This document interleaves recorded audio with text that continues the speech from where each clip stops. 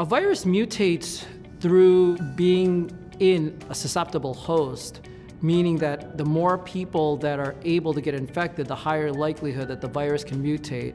Viruses are made up of DNA, of RNA, that over time can adapt to its surroundings. So the more people that are infected, the higher chance that a virus will mutate. Until everybody gets vaccinated or has had the infection, then the virus continues to change.